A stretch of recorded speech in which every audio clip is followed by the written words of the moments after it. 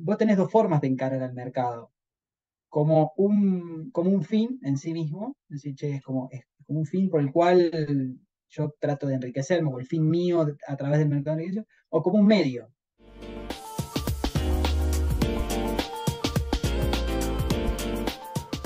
Muy buena gente, sean todos muy bienvenidos a un nuevo episodio del podcast. Hoy estoy con una persona muy conocida en Twitter. Él es eh, Head of Desk o jefe de mesa de, de Conosur Investment. Y bueno, también es muy, muy tuitero. Él está teniendo hoy por hoy un segmento en Twitter bastante copado que se llama Desde la Mesa. Así que creo que ya muchos saben quién es y si no, aprovecho para dar la bienvenida. Bueno, eh, muchas gracias por venir y un placer tenerte hoy acá. Les presento a Juan Martín Jansson. Juan. Bueno, Nacho, este, muchísimas gracias por la invitación. Charlamos hace un par de días atrás, este, donde vos me habías invitado. Así que veo que tu segmento invitas a varios referentes del mercado, eh, diferentes áreas, con, inquietudes varias, y bueno, un, honor estar participando de, tu, de tu, cruzada por, por, esta democratización del mercado, o al menos para tratar de ampliarlo, ¿no? Así que bueno, gracias, gracias a vos también. Gracias, Juan. Sí, bueno, la, idea del podcast es eso que dijiste, es empezar a democratizar el acceso a, mucha gente que de alguna manera emprende, ¿no? con lo que hace, o, como que toma la delantera. Y, bueno, ya viendo tu segmento desde la mesa, es algo que es un producto que vos venís como trayendo desde hace un tiempo. Y como que también hay una necesidad por parte de la gente que veo de, entender un poco y de no estar tan, tan desnudo, ¿no? ante las cosas del mercado. Entonces, y también tenés una trayectoria interesante, ¿no? Porque pasaste por un poco por lo de Conosur Investment, que bueno, te voy a preguntar ahora qué, qué es lo que haces ahí. Y otro poco también eh, por lo que es la enseñanza. Sé que también eh, sabes sobre derivados, ¿no? Y haces bastantes cosas sobre eso. Y la primera pregunta que en general hacemos es para también un poco como un agasajo a vos, ¿no? Saber quién sos vos, qué es lo que nos querés contar y qué es lo que, bueno, en fin, cómo llegaste hasta el día de hoy. ¿Cómo te presentarías vos? Em, bueno, qué buena pregunta, ¿no? habitualmente, a lo mejor en alguna terapia me han llegado a preguntar cómo me tengo que presentar, cómo me describo. Em, ¿cómo me presentaría? Como, como un, pibe del interior que eh, tuvo la oportunidad, tuvo la suerte de poder, eh, de, poder acceder al mercado, de encontrarse con el mercado, con algo que le voló la cabeza, ¿no? En el sentido de, encontrar algo que lo divierta al punto de tratar de transformarlo en su vida, ¿no? En algo que lo, respire. Em, hoy, hoy tengo la, suerte de, bueno, de, ser jefe de, una mesa de inversiones, de ser socio de la empresa donde trabajo, de bueno, tener algunos otros emprendimientos, algunos relacionados al mercado, otros no. Eh, en, economía real, eh, pero que viene todo de la mano de, del, trabajo en, el mercado. yo, para hacer una muy leve, una muy breve este, repaso, bueno, soy licenciado en Administración de Empresas, eh, tengo maestría en Finanzas en el SEMA, arranqué a laburar acá en Buenos Aires a fines de 2015, casi, casi 10 años, no, bueno, 9 años, este, fines de 2015, y arranqué haciendo contabilidad para fondos de inversión, para fondos de inversión de afuera. Eh, y ahí me encontré con el mercado, no tenía idea de nada, literalmente nada, no sabía lo que era una acción, no sabía lo que era un bono, no sabía lo que, no sabía nada. Y bueno, ahí me topé con este mundo que me voló la cabeza al punto tal de que empecé a leer por mi cuenta, investigar, abrir mi comitente, estoy hablando del año 2016, más o menos. Bueno, me empecé a meter, a meter, a meter, empecé a hacer amigos, demás, hasta que un día salió la posibilidad de meter una mesa de, trading, año 2017, 2017, y bueno, de a poquito haciendo la, escuela que hace la gran mayoría, ¿no? De, de, pasar órdenes, de tomar cauciones, de acomodar boletos y bueno, de a poquito ir aprendiendo esto que en parte es una ciencia y parte también es un, arte, ¿no? Che, interesante. Sobre todo por el background en licenciatura de Administración de Empresas. Porque uno se podría pensar, y vos encontrás alguna relación entre lo que estudiaste formalmente en la facultad con lo que haces? Bueno, vos es que es una pregunta que, muchos se hacen, sobre todo en los más, chicos, ¿no? Que arrancan o aquellos que a lo mejor están tratando de meterse en el mundo. Yo digo que no es un, no es un determinante. Este, claramente ayuda tener una formación relativamente sesgada a, economía o, a otro tipo de ciencias blandas, porque lo cierto es que el mercado, pese a su, a su dureza de números y demás, no deja de ser una consecuencia de una ciencia blanda, en este caso una economía, oferta y demanda, pon el nombre que vos quieras, eh, pero tampoco es determinante. Es decir, te ayuda, pero no es determinante. A ver, creo que, no sé, estoy hablando, un ejemplo, eh, porque, por ejemplo, mi, señora estudia eh, publicidad. Creo que alguien que estudia publicidad a lo mejor le puede costar un poco más, pero no es algo que, no es algo 100% determinante y porque es un, área totalmente, te diría, eh, en sí misma, ¿no? Es como una definición propia, es una industria, tiene su lenguaje, tiene sus usos, tiene sus costumbres y que tampoco sí se puede enseñar con una carrera. Te puedes arrimar con una maestría o a lo mejor la estudiando en licenciatura en finanzas, por ejemplo, que UADE tiene que es muy buena. Eh, de hecho, varios de los, chicos que, trabajan con nosotros la tienen y andan muy bien, pero hasta que no estás adentro, muy difícil en ese sentido. Te ayuda, pero no es determinante. Che, Juan, y vos sabés que escuché muchas veces el, el título pero bueno, es una, como una, como una inquietud, ¿no? Eh, ¿cuáles son las injerencias de un, de una licenciado en administración de empresas? Es como un tema aparte, pero como para saber, porque digo, invertiste un montón de horas ahí y, y, además también, como lo mencionaste, ¿no? De alguna forma te forma la cabeza, es como que vos tenés ya un camino hecho. Sí, a ver, vamos por parte, ¿no? El, yo creo que la licenciatura de Administración de Empresas, en este, hablando de la carrera per se, es una carrera bastante generalista, porque lo cierto es que no vas en profundidad en, ninguno de los temas que toca, pero abarcas muchos temas. Tenés sociología, tenés contabilidad, tenés economía, tenés matemática.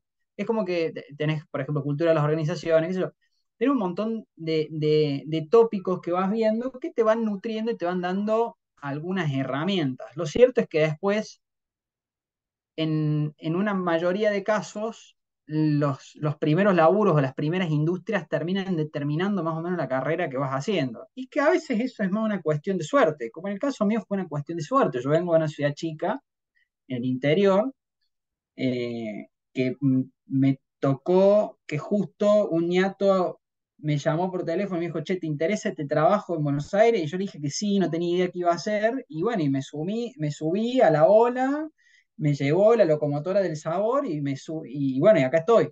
Este, pero lo cierto es que eh,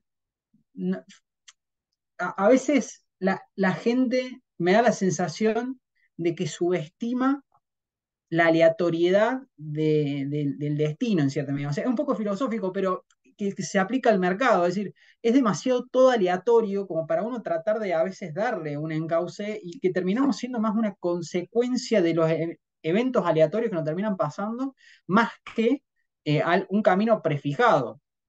Yo te hubiese dicho hace 10 años, che, que iba a hacer esto y probablemente no te iba a decir que no.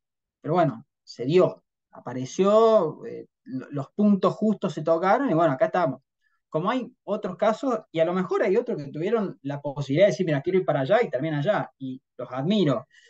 Yo en mi caso fue un, me abrían una puerta y me metía este, a ver qué había. También hay malas experiencias, pero bueno, es parte, es parte de, la, de, esa forma de ver las cosas, ¿no?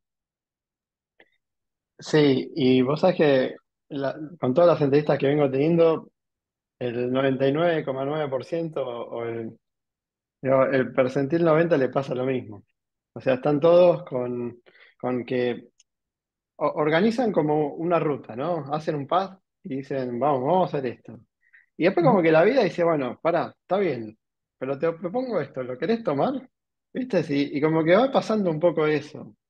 Y es muy interesante la cuestión filosófica, ¿no? que vos estás comentando, porque habla un poco de una, una causalidad. No sé, no sé si no lo mencionaste en esos términos, pero como que de alguna manera, a ver, esa aleatoriedad que para nosotros desconocemos, parecía como que, hace, o sea, de 10 años vistas atrás no lo pensabas ni en broma esto, pero como que se tuvo que dar así, ¿no? Digo, vos mencionaste que sos del interior.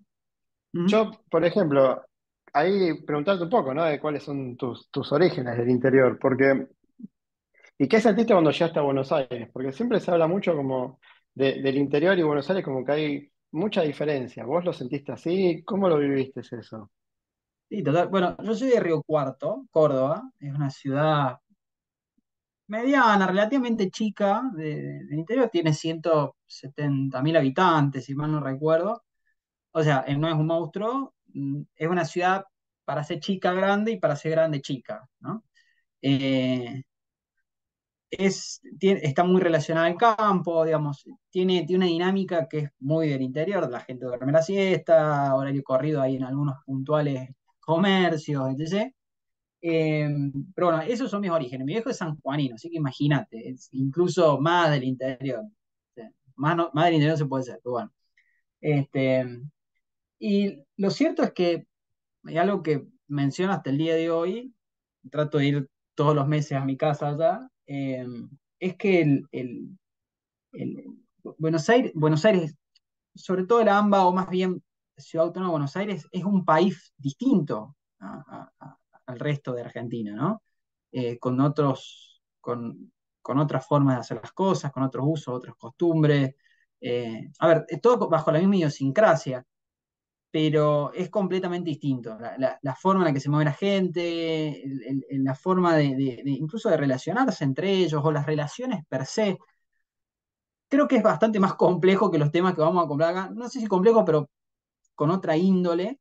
Eh, pero sí, el, cambio es grande. Y sobre todo en este tipo de industrias que tienen una dinámica, como la financiera, que literalmente va muy fuerte, bueno, quizás este, lleva un tiempo adaptarse, pero no es imposible. Pues, si, vos navegás el mercado argentino, te encontrás con que hay mucha gente de Rosario, de Córdoba, hay gente eh, de Santa Fe, del interior de Buenos Aires, hay mucho, ¿no? O sea, no, no es que tampoco, bueno, eh, las Olimpiadas, ¿viste? Que llegan 10 ñatos de los 75.000 que practican el deporte, ¿no?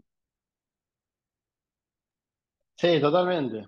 Bueno, nada, igual eh, era un poco como para traer antes de las finanzas a, al Juan, emprendedor, que digo emprendedor porque emprendiste un viaje, ¿no? A eso me refiero. Quizás cuando viniste era un laburo de oficina, ponele, en relación de dependencia de 9 a 18, pero no, implica, digo, según lo que yo pienso, que vos emprendiste algo hacia lo desconocido, porque de estar en, en un pueblo donde no, realmente desconozco sobre el tema de escalas y magnitudes. Yo ponele, quizás entiendo de lo que es un pueblo y lo que es una ciudad, para mí. Y yo veo que, por ejemplo, en un pueblo yo me voy acá a, Cañuelas y está todo lo mismo que contás, ¿no? O sea, son, es otro ritmo de vida. No sé si es mejor o peor. A veces uno es más conveniente para lo que uno hace que otro, digamos.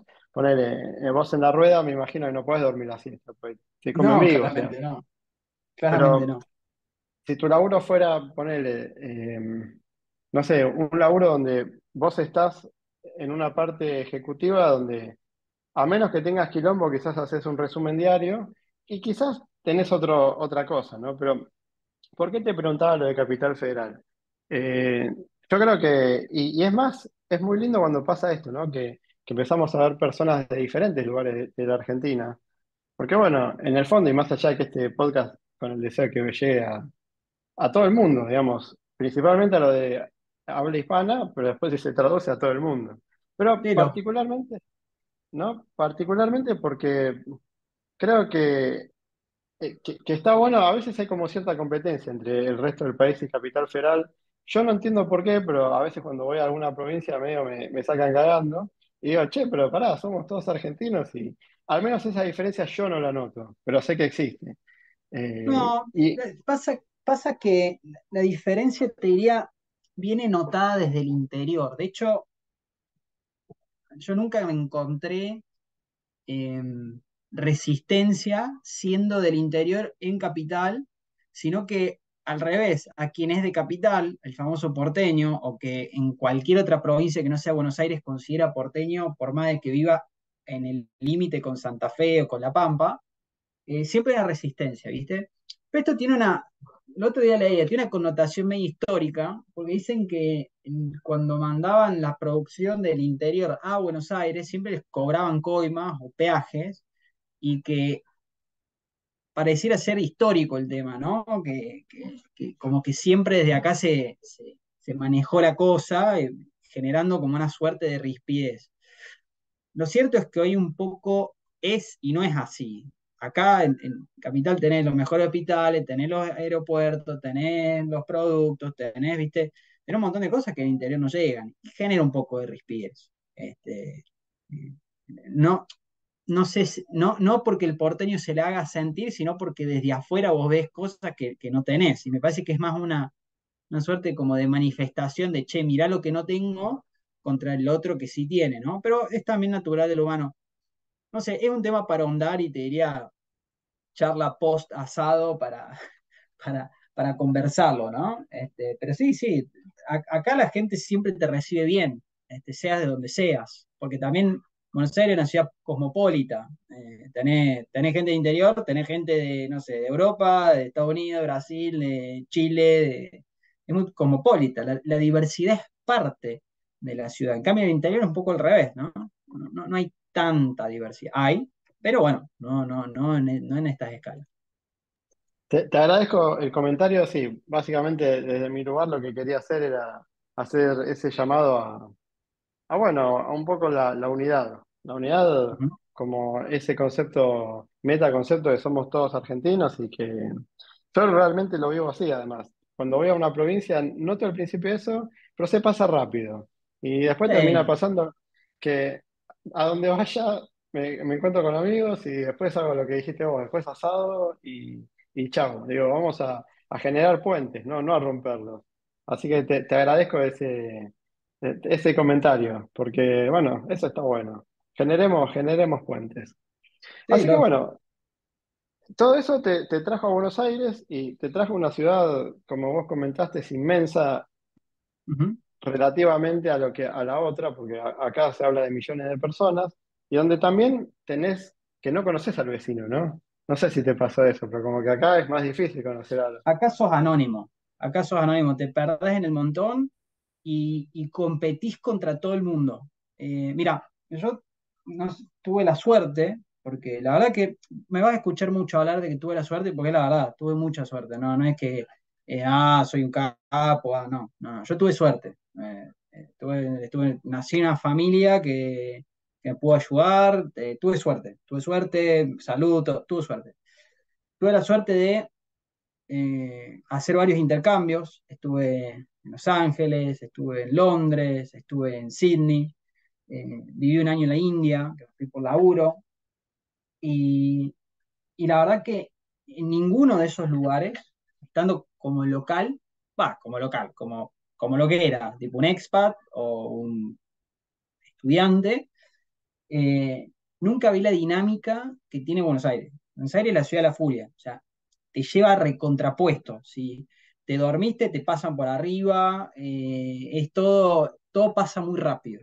Eh, y bueno, tiene sus pros, porque te entrena, te, mantiene, y para estar, digamos, en tratar de estar en, en el lugar que vos querés estar, sos consciente que hay 200 atrás tuyo o a la par o arriba tuyo que están peleando para ir más arriba, entonces tenés que afilarte, pero bueno, también tiene la contracara de que te desgasta.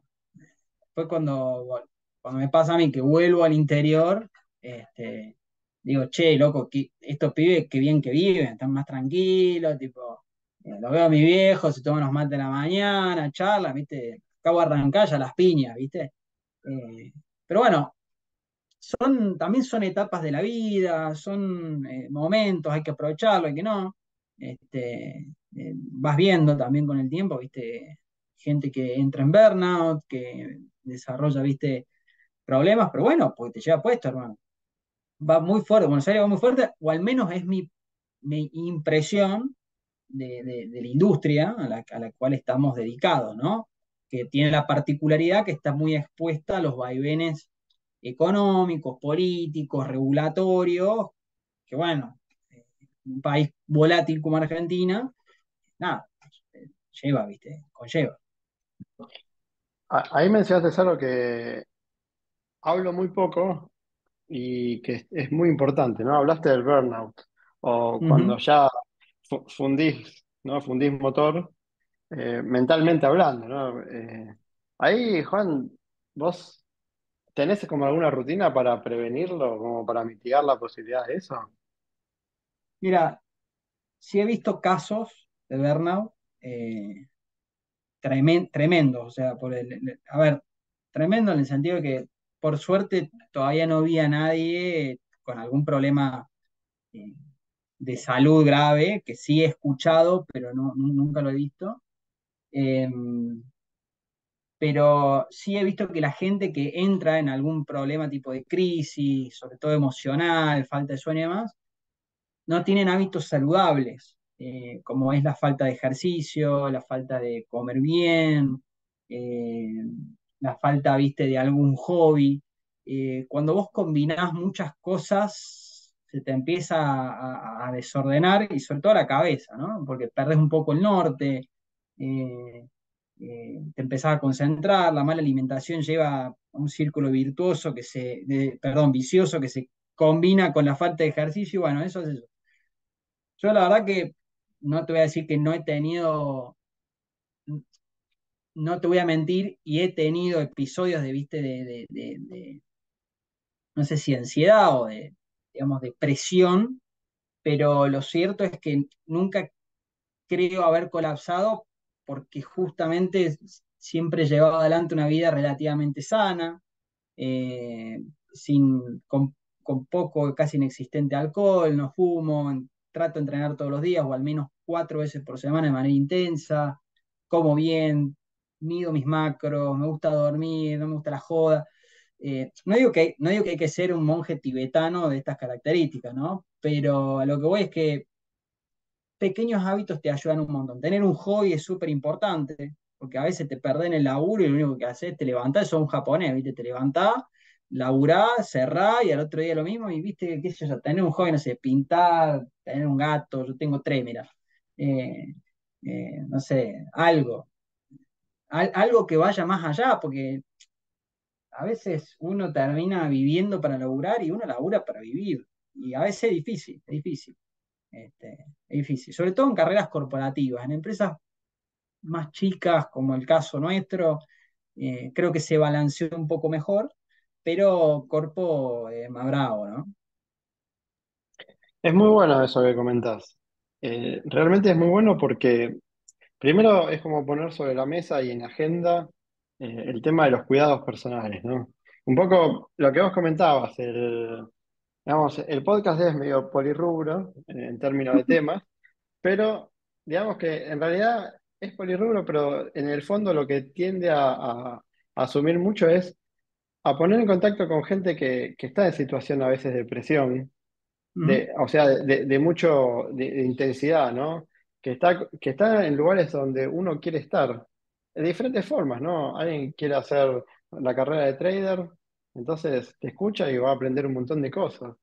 Y mencionabas como son como redes de contención, no son como redes de seguridad.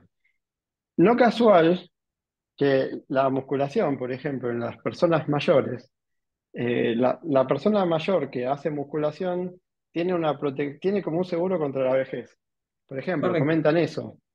Eh, el hecho de dormir implica que uno empieza, o sea, como que su cerebro entra en un modo de, de limpieza, ¿no?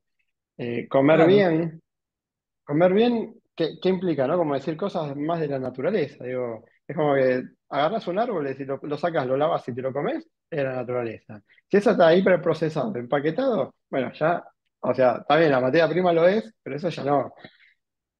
Y Bueno, algo yo te diría más. sí. No, Perdón, contame. ¿eh? Algo más. No, hay algo más que, que está bueno, que es también la idea de, de cuando lo necesitas ir al psicólogo, ¿no? Digo, el psicólogo, el psiquiatra, son, son buenas palabras. A veces No, quizás eso es el clave. profesional que Eso es te toca no es bueno. Digo, si no te, si no es bueno y no te sentís cómodo, seguí buscando, pero la verdad es como decir, está bueno que esté de moda cuando te sentís mal pedir ayuda. No, eso está bueno. Sí, a ver, hay, creo que hay varias formas de encararlo. Digamos, yo, yo lo miro como de la siguiente forma, ¿no? Es un poco, es un, es un poco este, cuadrado el, planteo, pero digo, uno es, es como si fuera un, un gran motor, ¿no? Tu laburo es lo que vos producís, es el, motor produce fuerza, eh, produce torque, produce este, fuerza rotacional, ¿no? Que es lo que hace mover un auto, un barco, un- una máquina, lo que sea. Ahora, tu laburo es, es lo que vos producís, ¿ok? Esta, esta fuerza. Todo lo que vos hagas fuera de eso, lo que ayuda es a que ese motor se mantenga, ¿ok? Si vos comes bien, si vos dormís, si vos haces un deporte, si vos haces un hobby, si vos vas al, al- al psicólogo, llámese tu mecánico, eh, vos lo que haces es mantenerlo, ¿ok? Ahora, ¿qué pasa? Hay motores que trabajan más relajados porque su trabajo es más relajado, y hay otros motores que son de carrera, que van todo el tiempo soldados y que tienen una vida útil corta y que requieren también más mantenimiento. Entonces, si vos tenés un laburo que te pone presión, que tenés que tomar decisiones rápidas, que eh, respondés ante intereses contrapuestos todo el tiempo, bueno, vas a tener más desgaste, consecuentemente vas a necesitar eh, más mantenimiento. Y ese mantenimiento puede venir en forma de vacaciones, en forma de eh, esto que hablábamos, de un deporte, de un hobby, de mejor alimentación y demás. Vos no podés pretender tener el desempeño de un motor de carrera sin tener el mantenimiento ni las piezas que hacen falta para que ese motor sea de carrera. Entonces, si vos comes mal, dormís mal, no hace una goma y encima pretendes estar al tope del rendimiento todo el tiempo, es incongruente. O en algún momento te la pegas, va a estar a tope de rendimiento, pero en algún momento pega un bobazo. O, creo que parte de la forma por la cual uno puede sobrellevar todo esto es haciendo el correcto mantenimiento eh, que es muy difícil porque requiere también de un esfuerzo adicional al que vos haces. Bueno, che, uy, bueno, cierra la rueda o lo que estoy haciendo, tengo que entrenar, tengo que comer sano, uh, che, qué paja, otra vez pollo. Bueno, es parte, ¿viste? Vos decís, che, bueno, si quiero estar en el top cero, en el número, eh, número uno, tengo que hacer lo que sea necesario para tener ese número. Ahora, uno también tiene que ser realista. Si no está dispuesto a hacer eso, tiene que ser en detrimento o de la presión que lleva o de la longevidad por la cual puede llevar esa presión adelante, ¿no? Porque va a decir, bueno, che, no, mira, no me cuido la goma, salgo de joda, hago lo que sea, está bien, pero acortás tu vida útil, ¿ok? No quiere, a, a- ¿a qué voy con esto? No, no, no quiero sonar de, de nuevo monje tibetano, todo un equilibrio, pero lo cierto es que nada es gratis, a eso voy. Tipo, cada decisión que uno toma tiene un costo y que se puede ver ahora o lo ves en temas 2, en temas 3, en temas N, que en algún momento te, te- pega, en algún momento te pega, trágicamente te pega. Sí, sí, comparto, comparto totalmente. Y, está bueno también empezar a, romper con esos mitos, ¿no? Es como que cuando uno ha- habla a veces de, la joda, habla quizás también de, de- la dopamina barata, ¿no? No estoy en contra, no ni a favor ni en contra, porque eso es una decisión personal. Y aparte uno tiene ciclos, uno a veces está más enfocado, después estás más desenfocado, pero lo cierto es que de alguna manera para lograr las cosas que quieras en tu vida tienes que tener un plan. Y como dijiste vos, ¿no? En ese plan tiene que contemplar también un mantenimiento del motor, porque el motor es lo que te hace hacer las cosas todos los días inexorablemente. Y a eso hay que sumarle también que el mantenimiento, o sea, voy a hacer un, una, tipo algo mío, ¿no? Yo salgo a correr, salgo a correr bastante. No me gusta correr, lo odio, pero lo necesito. La verdad es que yo Claro. lo necesito. Y cuando termino de correr, soy una persona mucho más relajada, mucho más tranquila. Entonces digo, ¿no? Es como que trato de aprender las técnicas, eh, busco que me tiren, que me expliquen cómo hacerlo y veo qué puedo hacer para lo que, pa- para cómo estoy yo en este momento. O sea, como que de alguna forma hago una planificación de eso. Pero digo nuevamente, no es que el mantenimiento me gusta. Lo hago porque lo tengo que hacer. O sea, sé que lo tengo que hacer. Entonces digo, y es lo que mencionabas vos, cuando decís, bueno, otra vez pollo. Bueno, sí, digo, hoy, hoy por hoy trato de decir, bueno, qué bueno que lo, que lo tengo y no me queda otra. Porque, o sí me queda otra, me quedan muchísimas otras. Pero las otras que me quedan también va a tener un costo. O sea, va a tener un costo. El costo es si lo, si lo ves, eh, o sea, si lo ves en contado inmediato o si lo ves en temas uno o en temas 2 ponele. Pero el costo está, ¿o no? bueno, y, eso es una, eso te diría, esa idea de, costo en contado inmediato, es una, es una gran observación que se le pueden hacer a, a generaciones actuales, ¿no? Eh, sobre todo cuando hay que tratar de, explicar o mostrar lo que se trata de hacer en el, largo plazo. Y de, eso, y de hecho que estamos hablando de un largo plazo millennial, de un año, ¿no? Ese es el largo plazo, ¿viste? Algo que yo noto mucho es que a veces queremos resultados completamente inmediatos, que en esta generación de, de- del Instagram, que es todo instantáneo, comida instantánea, foto instantánea, placer instantáneo, eh, riqueza instantánea, y lo cierto es que se, lleva puesto un montón de cosas que en, lo- en los más chicos, en los más jóvenes, a veces me cuesta, me cuesta como lograr transmitir, ¿no? Este, esta idea de que, bueno, mira, esto lleva, lleva tiempo, es un proceso, hay que asentar un montón de ideas, eh, hay que lograr cierta madurez en la, forma de pensar, en la forma de, acercarse. Y y eso, eso es algo que yo noto mucho, que, el- que, el- que, que el, día, el día de hoy, en 2024, estamos viviendo mucho en contado inmediato y gran parte de las cosas que uno, me parece a mí, ¿no? Tampoco que soy tan, tan viejo, gran parte de las cosas que uno se trata de proponer lleva, es un proceso largo, ¿no? De, construcción, de laburo, de, de- curación, ¿no? De, che, bueno, macerar la idea, pensarlo.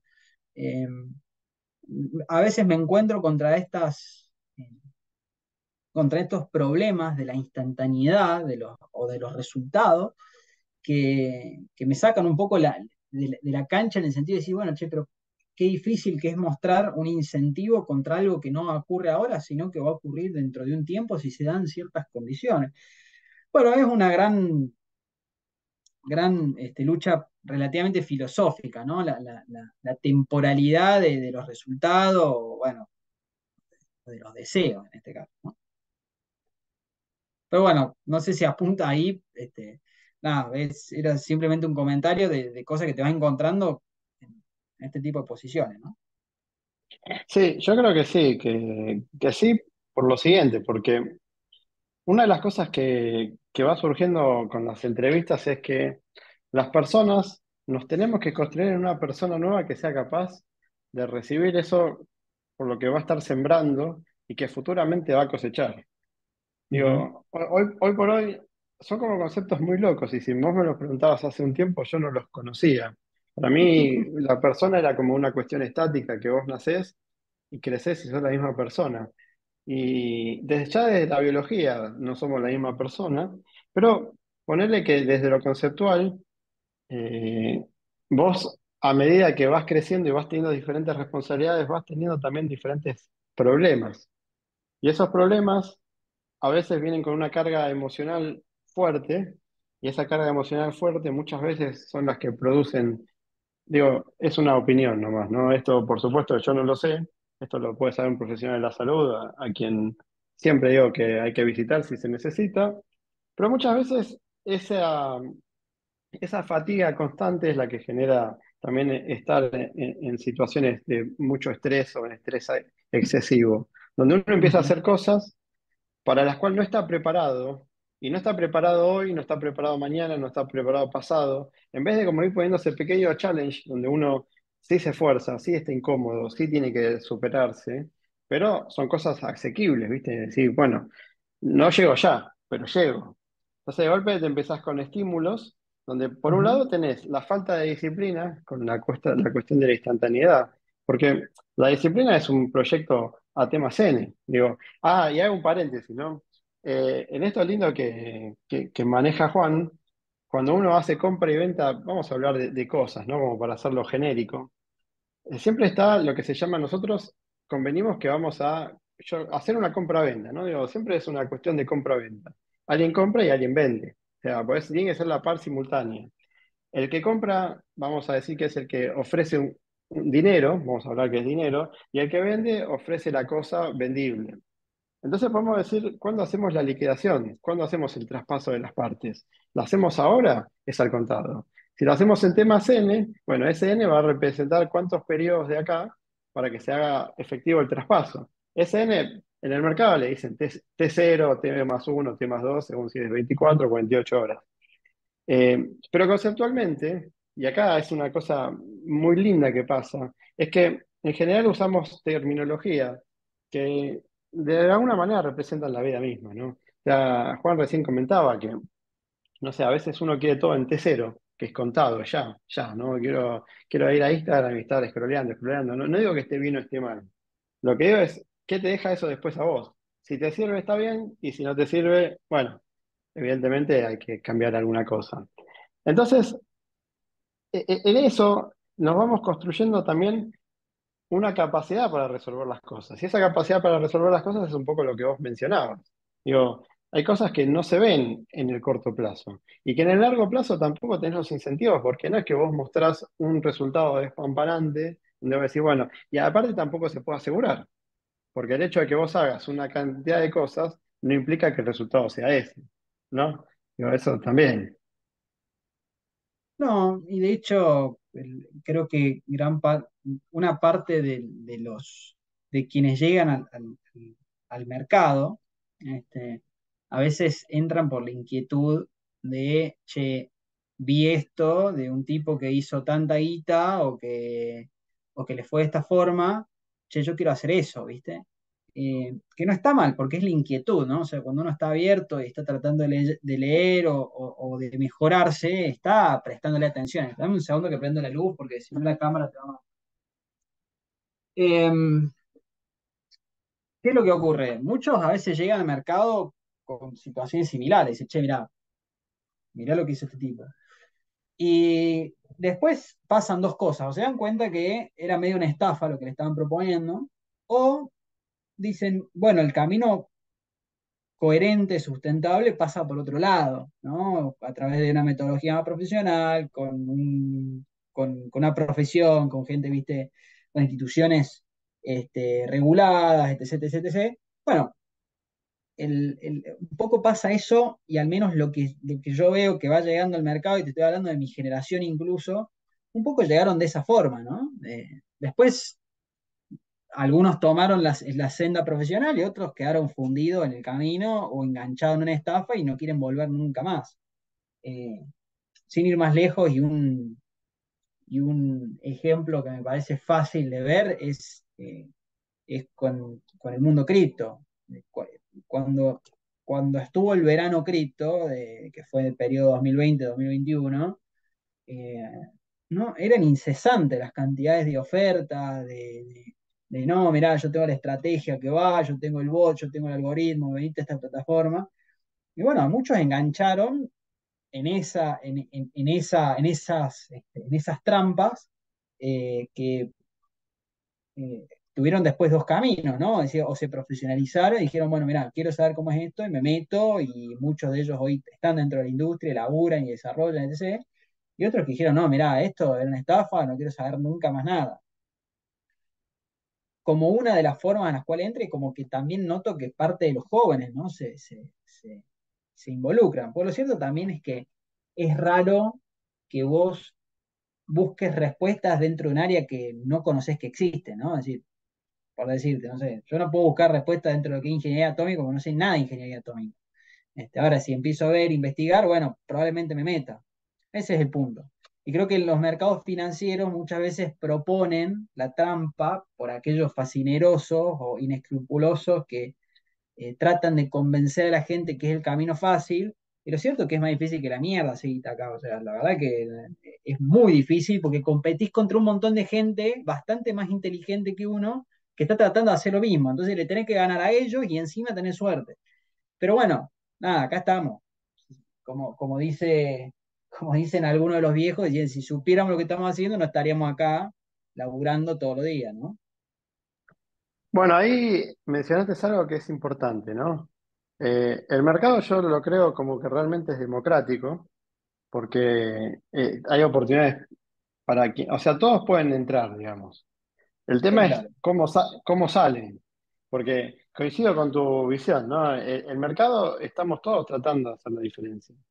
Y digo, acá no hay una cuestión de distribución, no, no, acá es, eh, cada uno se quiere llevar todo lo más que puede, y está claro aparte el mensaje, o sea, si hay algo que, que en el mercado cuando uno entra eh, es claro realmente, es que cada uno que entra quiere hacer la gran diferencia. La gran diferencia es digamos, tratar de acaparar lo más que pueda con las operaciones y hacer buenos negocios. Entonces, digo, ahí es como que se rompe una cuestión eh, romántica, digo. Y así como yo le quiero ganar a todos los demás, bueno, pasa que los demás también me quieren ganar, no como una cuestión personal, pero como una, pues, como una cuestión de mercado, digo. O sea, yo quiero comprar barato y venderlo 50 veces lo que vale, o, o venderlo ahora y recomprarlo 50 veces más barato. Pero como dijiste vos, estamos todos en la misma. Pasa, Nacho, que esa también es una mirada, perdona que te interrumpa, es una mirada que es muy enfocada desde el trader direccional, ¿no? yo creo que uno de, los, uno de los grandes aprendizajes que al menos me llevé yo en el poquito tiempo de estar en esto es que vos tenés dos formas de encarar al mercado. Como un, como un fin en sí mismo, es decir, es como, como un fin por el cual yo trato de enriquecerme, o el fin mío a través del mercado de o como un medio. Y lo cierto es que el 90% de los participantes o el 95% de los participantes utilizan el mercado como un medio para suplir una necesidad, ya sea, llámese de liquidez, divisa, protección, eh, renta, lo que sea. Y después, no, no es más que eso, ¿no? Es como, es como, es como, es un medio para, para, un, para un universo muy grande de jugadores y para otro pequeño eh, universo no, no, no menos importante, es un fin.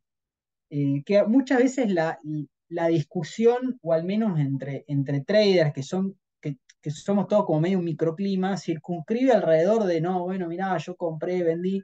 lo cierto es que el mercado me parece a mí, estoy dando mi, punto de vista humilde, es que me parece que es mucho más grande, mucho más abarcativo, tiene muchas más funciones y hay muchas más cosas que van más allá del vendo barato o, compro caro, ¿no? Este, que incluso un poco lo que a veces noto mirando desde afuera, sin estar tan metido, es, no sé qué tanta noción se tiene de eso y que a veces están, las discusiones pasan por el, che, tengo razón en la aleatoriedad en la cual cursa el, precio este o, el movimiento que yo estaba esperando, ¿no?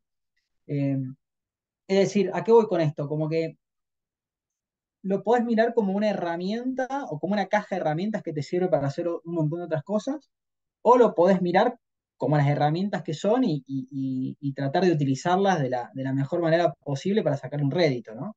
Eh, es decir, o podés armar un auto o te enfocás en, en usar mejor la llave tubo.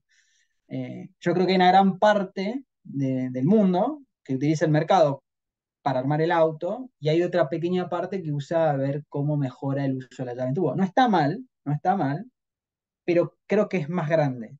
Eh, y que eso está bueno, o al menos a mí, algo que trato de hacer un poco desde, el lado de la docencia es explicar esto, ¿no? Que, es, es un medio para que una empresa se cubra, para que un ahorrista se cubra, para que una empresa se financie, para que... A, eso, a eso voy, ¿no? Eh, si no, a veces nos quedamos muy enfrascados en esa idea de, no, bueno, compré acá, vendí allá, gané esto, perdí esto. Y sí, bueno, todos lo hacemos. Eh, pero creo que es más grande, es decir, esa es una parte, hay otras, eh, otras partes. Y porque también lo cierto es que un poco el mercado, en definitiva, es un, es una suerte de, juego de suma cero. Eh, en definitiva, si vos te estás llevando guita es porque alguien se la está, la, está perdiendo en, cierto, en, cierto, eh, en, cierta medida. O al menos el mercado de derivados, al cual me he tratado de dedicar en los últimos años, eh, es un juego completamente de suma cero. es decir, no existe el mercado de derivados si no existe un comprador y un vendedor. Y si uno ganó es porque el otro perdió. Después podemos discutir si había una colocación y estaba calzado y en realidad se neutralizó. Bueno, esa es otra discusión. Pero es un medio, ese es el punto. Vos, vos provees un set de herramientas, las cuales, a mi modo de ver, tenés que tratar de dar la mejor solución posible a, quien demande esas herramientas. Pues bueno, son dos miradas un poco distintas también. Mirada un poco más eh, servicial y otra un poco más de usuario, ¿no? Que es lo que se llama en el mundo el buy side y el sell side. Eh, quienes usan el mercado como un fin o, como, para, con algún fin en específico es el buy side y quienes proveen herramientas al mercado, proveen liquidez proveen algún tipo de servicio son el sell side. Este, que está, se arman las miles de discusiones en Twitter entre, no, bueno, porque vos sos de mesa, porque vos sos tres, porque justamente es esto, son dos participantes necesarios de un sistema, pero que tienen funciones a veces contrapuestas, ¿no? Es decir, eh, nada, como un, como un punto de discusión. Muy interesante y real también, porque la realidad es esa, es un juego de suma cero. Y está bueno cuando uno entra, saberlo, digo, porque además de saber eso, digo, es como conceptual, ¿no? Cuando entras a jugar un juego, el que sea, está bueno que conozcas la regla. Es como que cuanto más conozcas la regla, siempre, siempre se puede perder en el juego, como también se puede ganar. Y ahí también está un poco una cuestión, un poco como ajedrecista, quizás empezás a, tener tácticas, empezás a, tener más probabilidad de ganar, pero también se puede perder. Y vos mencionabas que el mercado te da herramientas. Y es interesante eso, porque ahí te, iba a preguntar, ¿no? Eh, veo que hay muchas herramientas. Por ejemplo, una persona que quiere fijar un precio de compra de acá a un tiempo, puede cubrirse, ¿no? Puede hacer una, tener alguna herramienta de cobertura, por ejemplo. O si, si vos sos inversor, ¿no? Y tenés, em, no sé, una cartera importante, ¿no? Porque la gente va quizás teniendo una, una idea de pensión o una idea de retiro, y dice, che, esto si se puede, se puede dar un pepinazo terrible, compra una, como un seguro a la baja. Entonces te iba a preguntar, ¿qué, ¿Qué herramientas de, qué herramientas hay en el mercado y qué tipo de participantes ves que hayan ahí? Herramientas de qué, de qué, de qué tipo, porque acá, digamos, es una gran ferretería esto, digamos, ¿qué quieres hacer? Eh, porque a veces con, los clientes arrancamos así, bueno, che, quiero operar el mercado, ok, dale, barro, ¿qué quieres hacer? Contame y nosotros armamos, pero ¿qué, qué, qué se te ocurre? O sea, en tu, en tu ejemplo, digamos, ¿quién, quién sos y, qué te está pasando? No me digas, che, me peleé con mi novia porque no lo puedo arreglar ni yo ni, ni el Papa. Así que, eh, ¿qué, te anda pasando? Contame. Bueno, ahí te, por ejemplo, ¿no? Una fantasía que, veo muy común es, bueno, me llamo Ignacio, eh, cobré un, cobré el aguinaldo, tengo 150 mil pesos y quiero hacer algo con ellos. ¿Qué puedo hacer? Bueno, ahí, digamos, yo por suerte todavía no trabajo, por suerte, por suerte no trabajo mucho con clientes, pero eh, decir, che, Nacho, bueno, cobraste un aguinaldo bárbaro, lo primero que te diría es, ¿qué querés hacer con esa plata? ¿No? Es decir, che, vos la vas a usar dentro de un tiempo para, no sé, para eh, arreglar tu casa, para cambiar el auto, para irte de viaje, eh, o lo estás ahorrando, porque muchos tenemos excedentes y lo vamos ahorrando sin algún fin específico, lo vamos Bueno, ahí Nacho me dirá, che, mira, ¿tengo un fin específico o no tengo un fin específico? Entonces ahí se dirime, tenés una separación muy importante. Si tiene un fin específico, primero tenés que ver cuál es la temporalidad de ese fin específico. Decir, mira, mira, dentro de cuatro años voy a, no sé, agregarle una habitación a mi casa.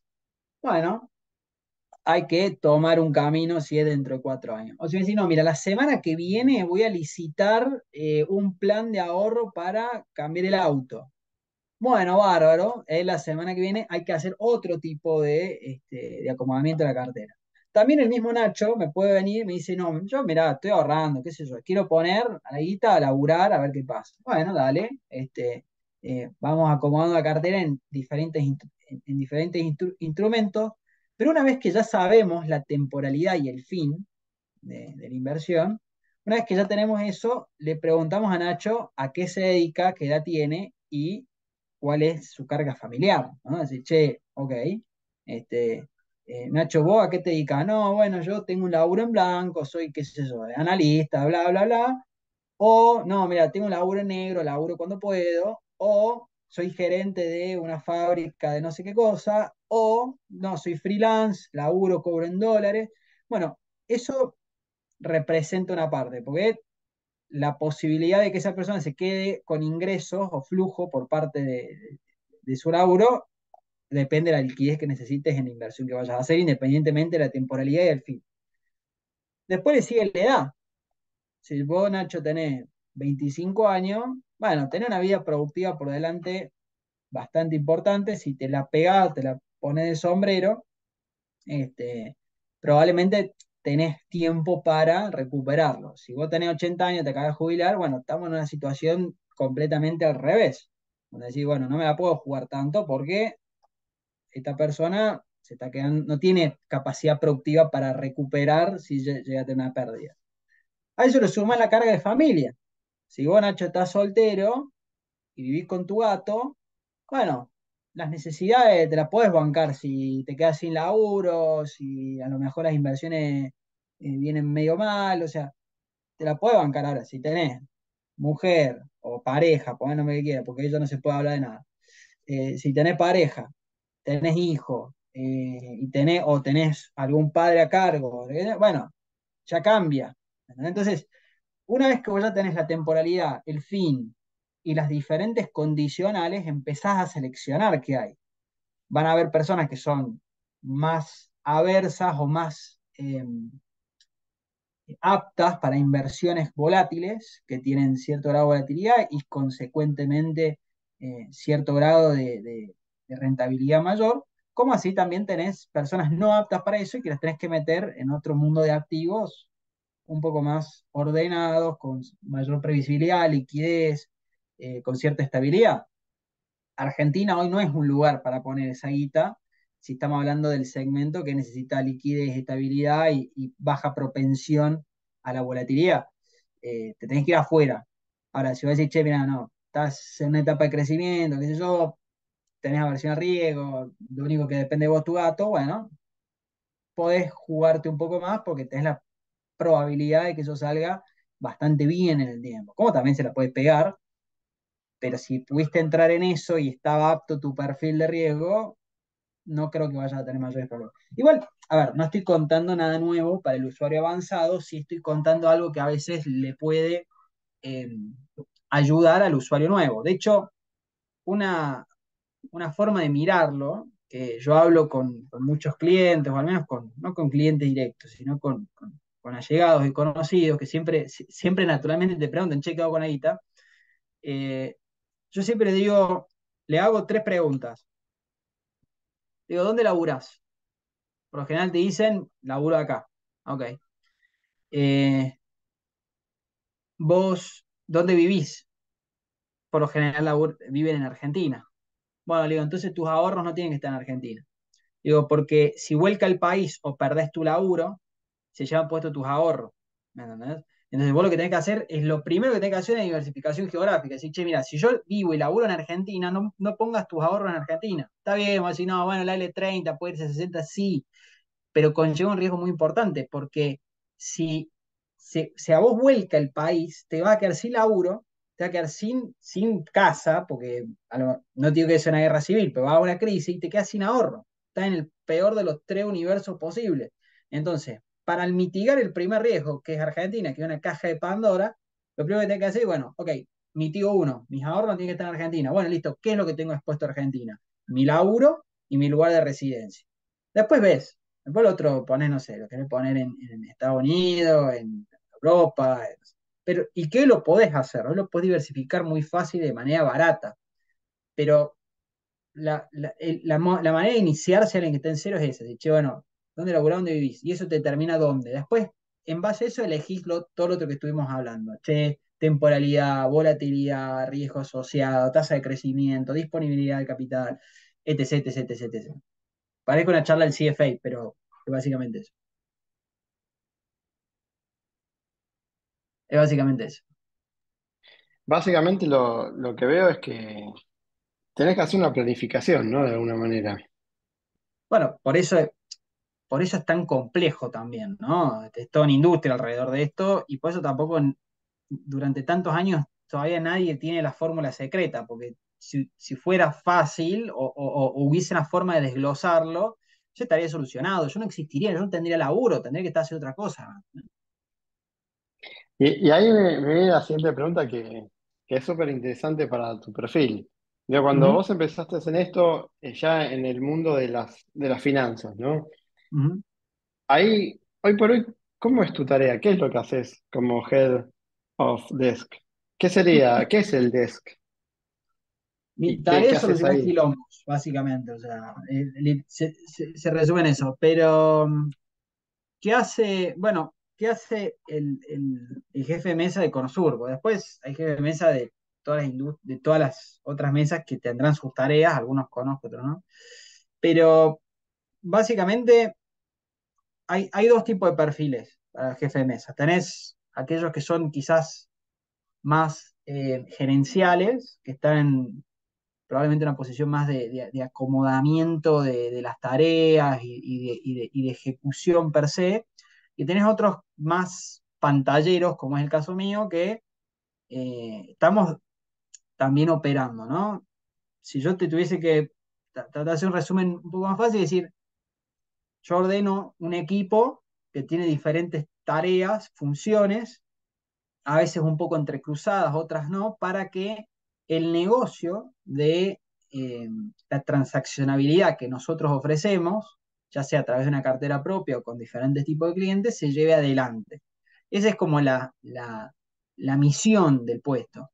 Eh, con diferentes componentes o actores, que en este caso son este, los, traders, que tienen diferentes eh, aptitudes que van llevando a que esto se desarrolle. Tengo un trader de specs, uno de bonos, uno que hace trading algorítmico, otro que hace pyme, otro que atiende clientes, tengo un posicionista. Entonces, todos estos participantes o estos actores hacen y van contribuyendo a que la, transaccionabilidad que estamos hablando recién se lleve adelante. Y mi laburo es básicamente coordinarlos, pero también participo del negocio. Este, yo, en lo particular, por ejemplo, yo hago eh, bonos y derivados, principalmente derivados y bonos, pero estoy en esas dos plazas. Uno de los chicos hace FX y equity, otro de los chicos me asiste con bonos, otro se encarga del trading algorítmico, otro se encarga de, PyME.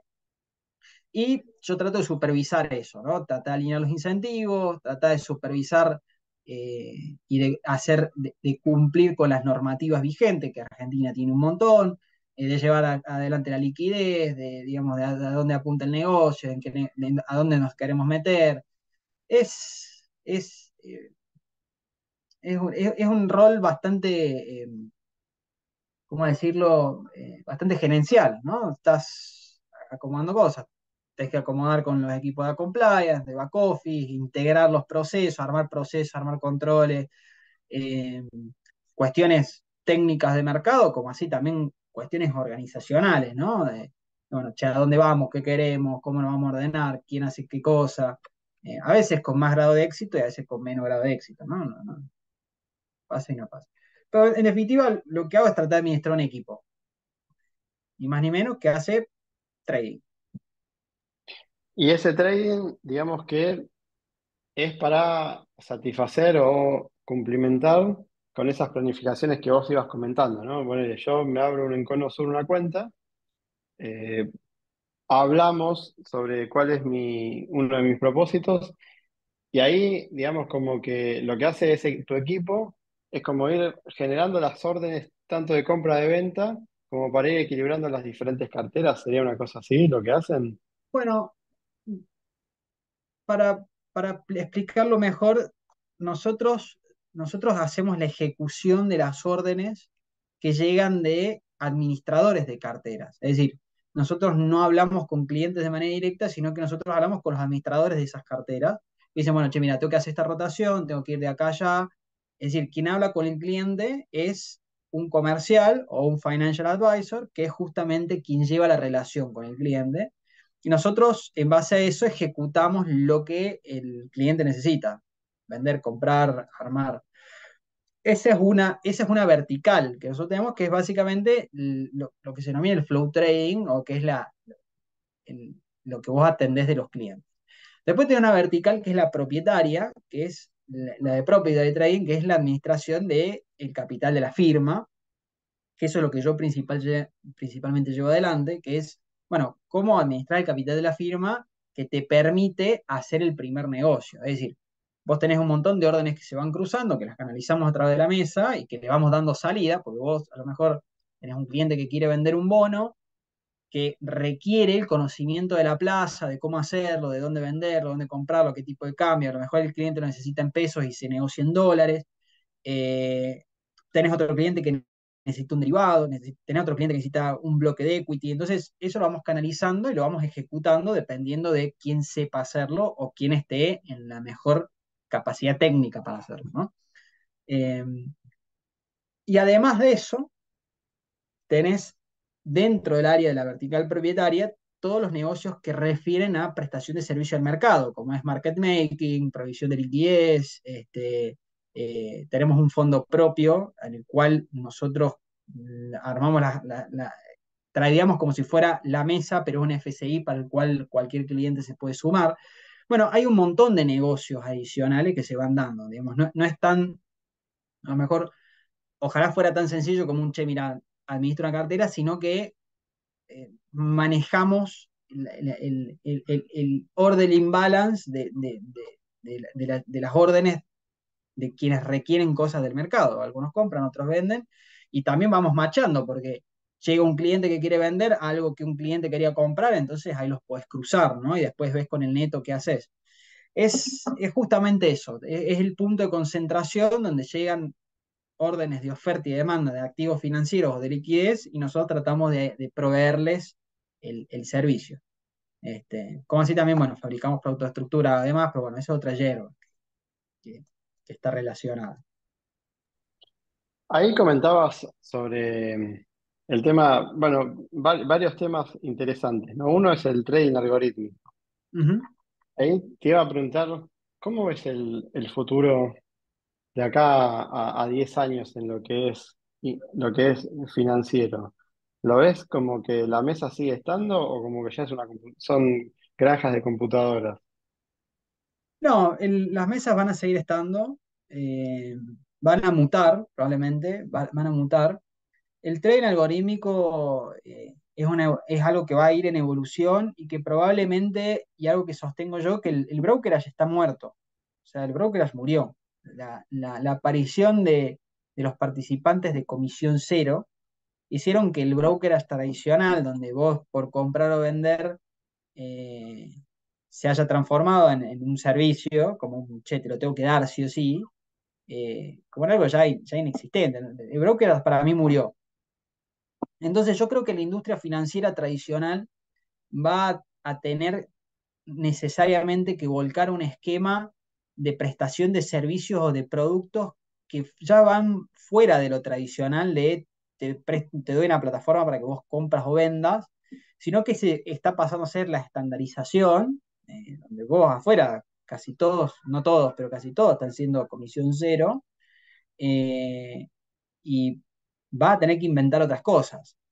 Hay un punto ahí, es que una gran parte del mercado que no se ve, todo lo que circunscribe alrededor de los mercados OTC, entre el, 50 y el 70% de los mercados mundiales, del volumen mundial de los mercados, pasa por, por mercado OTC, por dark pools, mercado OTC, líneas de crédito, que está muy, muy, muy lejos del trading electrónico y que incluso está mucho más lejos del trading algorítmico. Entonces, eh, me parece que, si bien muchos dicen, no, bueno, van a desaparecer los traders, me parece que es muy lejos, al menos de la postura institucional, que un trader desaparezca. Sí, va a desaparecer para el retail, sí va a desaparecer para, para pasar órdenes, pero hay todo un espacio todavía donde, la tecnología no, no logra hacer, eh, no logra hacer, eh, no logra penetrar, eh, y hablo un poco como autocrítica, ¿no? Porque también soy participante y uso tecnología, y que es todo lo que tiene que ver con mercado TC bilateral, y yo creo que va a ser muy difícil que a veces eso ocurra, ¿no? hay toda una cuestión de confianza, hay toda una cuestión de disponibilidad, de trato, pero que si ya ocurrió dentro de lo que son los, las plazas electrónicas, no, no me parecería una cuestión loca de que eso pegue un vuelco y se transforme en otra cosa. Ya, ya está ocurriendo en cierta medida, pero parece que va a tomar mucho más tiempo de lo que uno cree. De, nuevo, el, el tren, el, el, brokerage, como uno conoce, de, che, bueno, eh, compré una acción de Apple y me cobran por eso, para mí eso murió. Eh, se va a transformar en otra cosa que estás pagando, porque el modelo que propone Citadel, para el caso Interactive Brokers, vos estás pagando, pasa que no te das cuenta. Eh, nada, yo, la, implementación va a seguir, me da la sensación de que va a llegar un punto de que los mercados van a estar muy arbitrados, entonces las oportunidades van a ser cada vez más difícil, difíciles y van a estar más atadas a la aleatoriedad que a una cuestión técnica de arbitraje. Eh, pero que necesariamente la industria, la industria financiera va a tener que obligadamente, y, soy, y, soy y, quiero ser muy contundente con esto, obligadamente la industria financiera tradicional va a tener que empezar a proveer servicios eh, y productos, que hoy lo hace, pero es difícil, ¿ok? Este, porque si no, lo que, lo que va a pasar es que aquellos que no se, que no se, que no se suban a eso van a morir, porque el broker tradicional va, va, necesariamente a morir. La, gente joven ya no quiere pagar comisiones, se van a ir a esquemas de, que vos puedas desde el teléfono hacer lo que vos quieras. Eh, y bueno, te vas a tener que adaptar. Y esa adaptación va a venir por implementación tecnológica o, provisión de producto, una combinación de las dos cosas. Ahí te, te iba a consultar algo, ¿no? Como para, la audiencia. Si podías más o menos definir muy a alto nivel, que son los términos de OTC, de brokerage y de market making o market makers. ¿no? Depende de cómo. Está bien, es, sencillo. Imagínate, e, e, es bastante fácil de hecho. Cuando, cuando vos vas al mercado, ¿no? O sea, suponete vos entras al mercado y decís, bueno, eh, ¿cómo está Apple hoy, o Netflix, o Tesla, o no sé, si miras el Merval, cómo está Macro, cómo está Galicia, pues vas al mercado. Y en las plazas eh, electrónicas, o en lo que se llaman plazas de prioridad precio-tiempo, PPT, eh, pantalla que le dicen, o piso que le dicen, tiene un montón de, de, de forma de decirle, vos tenés siempre la mejor postura de compra y siempre la mejor postura de venta. Es decir, el, que paga más caro siempre es el primero, que está en la línea de espera a, que le vendan, y el que vende más barato siempre es el que está primero en la línea de espera de las ventas. Entonces, cuando coincide el precio de compra de alguien con el precio de venta de alguien, se genera una operación. ¿Ok?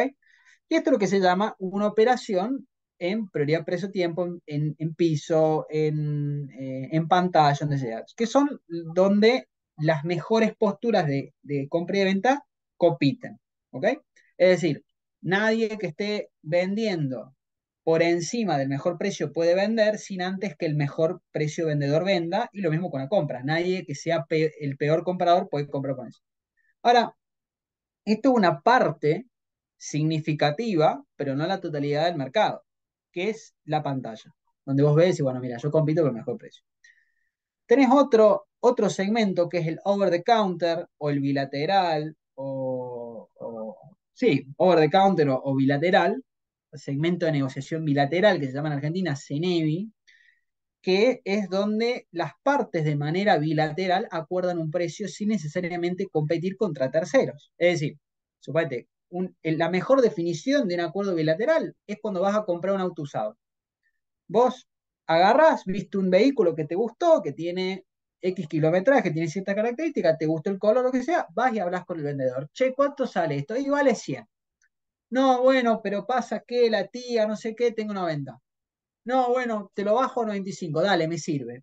Eso es una negociación bilateral. Y ese tipo de negociación ocurre exactamente igual en los mercados financieros, con bonos, con acciones, con derivados, con tasa de interés, con lo que sea.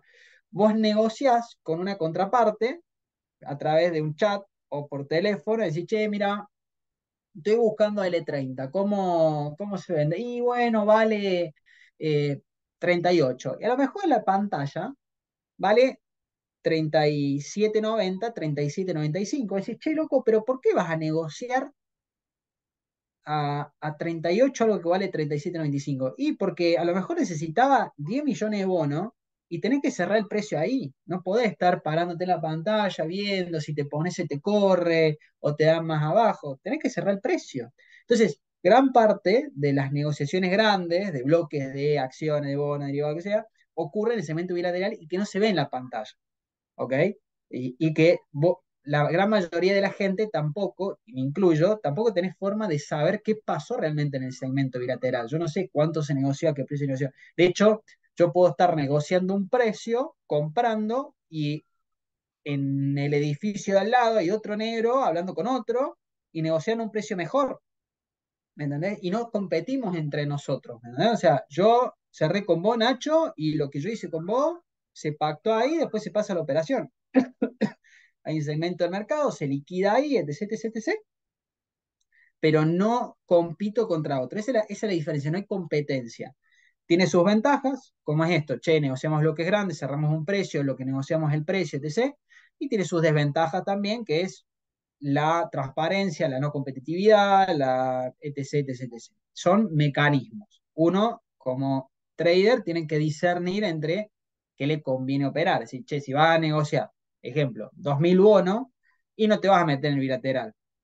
Ahora, si tenés que negociar un bloque de 20 millones de bonos, y bueno, te vas al bilateral porque justamente tratas de cerrar un precio, porque vos en la pantalla te va a poner 20 millones de bonos en el offer y la va a buscar el bono a Namibia Occidental, si te, si te hunde 2%.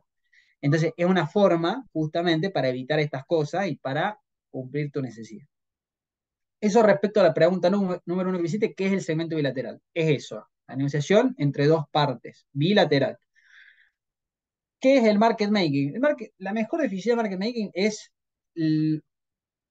aquel, aquella, aquel o aquella persona que hace o institución que hace de proveedor de liquidez en un instrumento dado. Es decir, lo que hace es trata de proveer un mercado, de armar un mercado, proveer liquidez, ya sea a través de la compra o de la venta del producto. Por lo general, o lo ideal, es que esta institución o esta persona sea compradora y vendedora de un producto en particular, llámese bono, acción, derivado, tasa de interés, producto estructurado, pon nombre que quiera.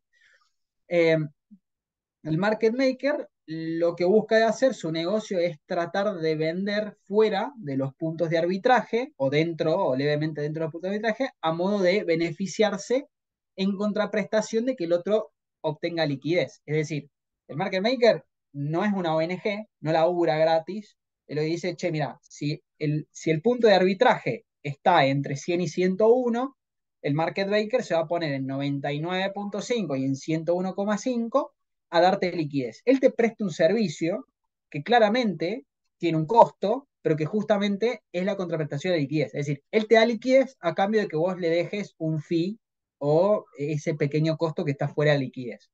Que es una figura bastante controversial y discutida, dentro de la academia y fuera de la academia, si vos mirás los mercados, dicen, no, bueno, pero los market makers se benefician de vos. Lo cierto es que son proveedores de un servicio, te proveen liquidez, nadie te obliga a operar contra el market maker. Ahora, si no hay nadie operando y está el market maker y te pone las puntas, y bueno, macho, el market maker no es una ONG, él te da liquidez, él corre el riesgo, tiene su libro de riesgo, vos podés entrar o salir, porque está ese tipo, si no, no existe mercado. Entonces lo que te arma el tipo es mercado, ahora compra una venta. Después discutimos el spread, la concentración, la cantidad, discutible. Te presta un servicio de liquidez, te vende y te compra. De nuevo, la idea del market maker es que no sea un asesino, así, che, bueno, si vos te das las puntas, separás 50% cada una, bueno, no tiene sentido, o sea, no estás haciendo market making. Ahora, si vos estás dentro, de, dentro del rango de, dentro del rango de arbitraje, del mercado, si vos te paras dentro de los dos rangos en algo razonable, atendiendo la volatilidad que opera el subyacente el cual vos estás haciendo liquidez, bueno, te está prestando un servicio. Te está diciendo, che, déjame un fee y vos podés entrar y salir del mercado. Ahora, si vos le vendiste y, te arrepentiste y le compraste, y bueno, macho, es justamente la ganancia de market maker es esa. En contraprestación se lleva el riesgo. Vos le vendiste y te quedaste con la posición vendida, y bueno, el market maker tiene que hacer warehouse de ese riesgo, ponerle pecho y ver cómo lo desarma. A veces a los market makers nos va bien y a veces no va, mal. En mis cinco años de market making, haciendo opciones, haciendo futuro y demás, ganas poca guita. Lo cierto es que es un servicio más intelectual y de ver cómo armo la plaza en, una, en, una, en un activo que lo que te deja. Pero bueno, requiere el armado de un montón de herramientas y de desarrollos que te ayudan a desarrollar otras cosas después, ¿no? Eh, pero no es, una actividad súper redituable, para nada. Este, pero bueno, es, es, un servicio, es un, servicio, ¿no? Juan, y bueno, respecto del OTC o el CENEVI me quedó una duda. Sí, claro. ponerle que transamos, no sé, 10 millones de AL30. ¿Esos 10 millones van a formar parte del volumen del día operado? En algunos mercados te, lo, te van a hacer disclosure y en otros no. En Bima, por ejemplo, los tenés separado. Si vos entras a los totales de Bima, te vas a separar, te va a decir, che, mira, esto operó en Segnevi y esto operó en, pantalla. Por lo general, cuando vos ves en Twitter, cuando ves en las noticias o en cualquier lado, ves, te hablan de la pantalla. Lo cierto es que el volumen de pantalla es, sobre todo en bonos, en renta fija, debe ser el 20 o el 30% de lo que pasa por CNE. Este, y estoy casi seguro, ¿eh? o sea, lo que pasa por el mercado bilateral es muchísimo más grande eh, y muchísimo más representativo de lo, que está pasando, sobre todo porque en el bilateral también ves las manos de afuera, ves el flujo afuera. Vos, por ejemplo, cuando operás, no sé, bonos, eh, suponete L30, G30, afuera las posturas son por un millón de nominales o dos millones de nominales, es decir, che, te compro, no sé, en 37 y medio y te vendo en 38, un millón por un millón de nominales, ¿no? No, tenés scraps, viste, pedacitos más chicos que te juntan las puntas, pero las posturas son mucho más gruesas, ¿no? Está, está clarísimo. Eh, sí, pues aparte tampoco te destruyen el precio, ¿no? Porque, ay, mira, me pareció. Este es Sutuca. ¿Sutuca? Qué lindo. Juan, y lo que vos comentabas del brokerage, ¿qué es lo que hace, o qué sería brokerage? No, el, el brokerage sencillo, sencillo es, che, te cobro, bueno, vamos un paso más atrás. Brokerage es la, la tarea de proveerte acceso al mercado, de que vos puedas comprar o vender un activo. Eso es brokerage. Yo mi punto cuando hablaba de brokerage recién es que estaba muerto, es que al día de hoy una gran cantidad de instituciones financieras hoy te cobran por, por, comprar o vender algo, ¿no? Por tener, por comprar algo, suponete, no sé, una Galicia o, no sé, un Apple, lo que sea. Eh, hoy vos pagás por eso. Lo cierto es que aparecieron un montón de participantes que son de comisión cero, que mm, te, lo van a borrar, ¿me entendés? Porque la gente naturalmente va a ir a eso. A ver, creo que este experimento también de comisión cero trajo una suerte de, división dentro del mundo retail y que está muy interesante de ver, porque no son pocos los clientes que nos encontramos que te dicen, mira, yo no quiero no pagar nada, quiero alguien que me atienda. No porque el resto no atienda, sino que al día de hoy muchos requieren de, o al menos confían en la figura de alguien que está detrás. Que lo cierto es que aquellos que te proveen comisión cero están detrás, o sea, son los mismos ñatos que nosotros, nada más que tiene una plataforma, no, hay mucha diferencia. Que es una, es una, es una postura de una generación quizá anterior. Yo pienso que en la medida que las generaciones empiezan a pasar, sobre todo nuestra generación que está acostumbrada al uso de las apps, del uso de las computadoras y demás, probablemente eso termine diluyéndose, ¿no? Este, caso distinto es cuando hablas con un corporativo, con una institución, con un fondo común de inversión, que vos hablas con el CFO, con el portfolio manager, con quien está atrás. Es decir, no podés decirle, ah, no, mira, opera a través de la este, aplicación. porque son dos segmentos diferentes y porque requieren dos servicios distintos, ¿no? Este, yo como inversor no, no, no, necesito a nadie que venga a decir, no, bueno, eh, comprame acá, vendeme No, voy la app y le pego a la pantalla y chao. Ahora, si yo soy un portfolio manager y manejo 50 mil millones de dólares y quiero un ñato que me diga, que me explique, que me cuente, que porque son dos servicios distintos. Pero bueno, son dos públicos distintos también. Por eso te digo, el broker es tradicional, el perrito está muerto. Ese, chao, se fue. Eh, que las apps comisión cero o los famosos discount brokers la van a romper, van a borrar un montón de participantes. Ahora, hay otros servicios que, por ejemplo, son los que probemos nosotros, que atienden más a institucionales y a microestructura de mercado, que es esto de, che, bueno, eh, vos, sos un, eh, vos sos un banco, vos sos, eh, no sé, una empresa, un, un CFO, por bueno, ese, ese no le puedo nada. Tenés que atenderlo, tenés que llamarle, tenés que contar, tenés que mostrar, explicar sobre todo porque es otro trato y porque al fin y al cabo hablas con personas, que, que, te explican, te dan un view, te cuentan, tenés tenés la, posibilidad de errar, porque sos un humano, pero también es diferente la necesidad, ¿no? Porque viene, viene un CFO y te dicen, che, mira, tengo mil millones de pesos, ¿qué hago con esto? Bueno, arranquemos, che, ¿qué querés hacer? En una app no lo vas a tener. Quizá exista con inteligencia artificial, después le pones y no sé qué y aprende. No en el corto plazo, no en el corto plazo. Y estaba pensando, ¿no? Si yo me pongo en la piel de, una persona que maneja ese volumen de dinero, yo particularmente no quisiera hablar con una Quisiera llamar a Juan. Yo, o sea, sin tenerlos, pero haciendo el juego intelectual o, el juego hipotético, eh, porque también cuando vos hablas con una persona, la capacidad de respuesta ante quilombos es diferente. Una app, Sí, ¿no? Entonces digo, yo prefiero a Juan que además de manejar las cuestiones técnicas, también maneja las, cuestiones con, actitudinales de las personas, ¿no? De decir, mira, pasó otra cosa, levanto el teléfono, llamo al gerente y se acabó, ¿no? Entonces, eh, en ese sentido, eh, comparto también lo que vos decís. Creo que el trading algorítmico, ahí no sé si va a tener algún momento auge, porque en definitiva somos personas negociando, ¿no? Más allá de que sea a través de una pantalla por medio de una app, o sea, a través de un teléfono, eh, a, través de lo que nos estabas explicando. Yo creo que el teléfono para el CENEVI, no sé si es reemplazable. Ahora, ahora, que lo estoy, estoy como intelectualizando, no, ¿no? Digo, eh, yo no sé si quiero lanzarlo por un formulario, una operación tan grande. Quiero la confirmación personal. Es que ese, ese es un poco el punto yo creo que el desafío de la tecnología está en ver cómo se rompe esa barrera, ¿no? Si es que se puede romper, porque a lo mejor, y, yo soy muy de la escuela de que, che, si esto no está roto, no hay que romperlo, ¿no? Eh, si funciona bien así, ¿por qué lo tenés que cambiar? O sea, no, hay una necesidad.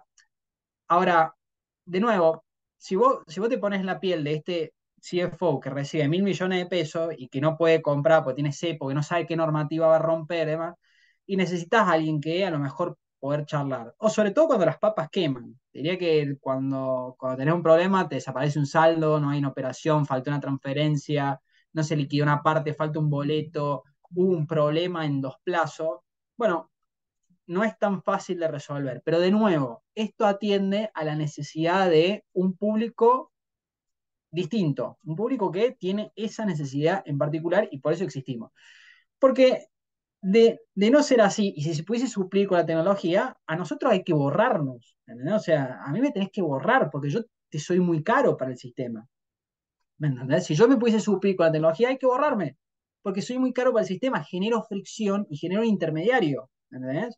Entonces, es, es muy difícil de suplir hoy día. Creo que hay una gran cantidad de incentivos puestos a que eso no pase parte por implementación, porque es extremadamente costosa, y parte porque también la figura del intermediario eh, permite la rentabilidad del, negocio, pero, pero también, de nuevo, es una cuestión netamente de servicio. Es decir, no, sin ir más lejos, recién cuando estaba arrancando el podcast, que te dije, dame un segundo, estaba arreglando un quilombo por la liquidación que no había pasado y coordinando con una tesorera para que pudiera girar el capital, para que la firma pudiese llegar hoy al cierre con, la, con una guita que le faltó. Y si no estoy yo, tan al arco. ¿Me entendés? Pero ¿qué pasa? El nivel de tecnología que tenemos hoy todavía no permite que yo, que yo sea exento, digamos, que yo desaparezca. Este, eh, porque si lo existiese, yo no tendría que estar. Es tan sencillo como eso. Eh, pero hoy no lo permite. ¿Lo va a permitir dentro de 10 años? Lo dudo.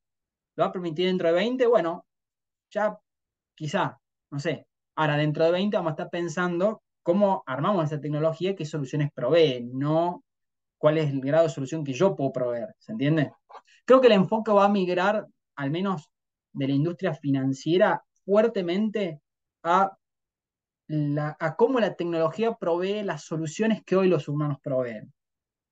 Y no me sorprendería que el día de mañana todo lo que hoy conocemos como trading algorítmico en realidad termine migrando a em, tecnología financiera o fintech, ¿no? Es decir, che, toda esa inteligencia, toda esa idea de tratar de, de, descular el mercado, termine migrando a cómo logramos suplantar las decisiones humanas que van fuera del, mercado. Esto que yo te decía recién, che, me faltó la liquidación. ¿Cómo, la liquida una inteligencia artificial? Y no tiene puta idea. Bueno, listo. Yo, pum, hablamos, bajamos, subimos, le pregunto a uno. Bueno, eso hoy no se puede suplir. ¿10 años? No sé. ¿20? Te diría que sí. Y te diría que si no lo solucionamos somos unos cavernícolas, boludo. No puedo estar a las 7 de la tarde una, una transferencia, ¿me entiendes? Bueno, se trata de eso y nuestro desafío como generación entrante a las finanzas es justamente ver cómo podemos resolver esto.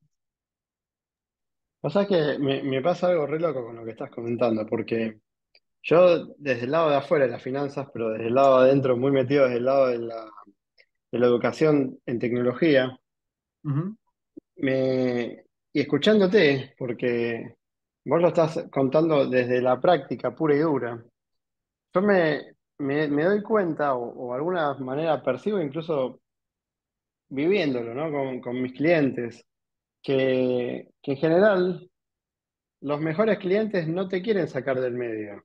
Al contrario, los mejores clientes te quieren delegar las cosas que ellos no quieren hacer. Lo digo de otra manera, un cliente que tiene mucho dinero, y al menos los que, algunos que no, tienen tanto, pero digamos que, tienen un, pasar interesante o que tienen una empresa y tienen un, flujo constante y continuo, eh, ellos no quieren sacar la delegación de tareas. E, es raro encontrar, o sea, me cuesta a mí encontrar en esa gente alguno que sea orquesta. O sea, muchas personas son orquestas así cuando están empezando. Pero cuando están consolidados, quieren tener el teléfono de Juan y quieren que Juan, tener un contrato con Juan. O sea, ¿qué quiero decir? Quieren que vos cobres tu plata y que le resuelvan los quilombos.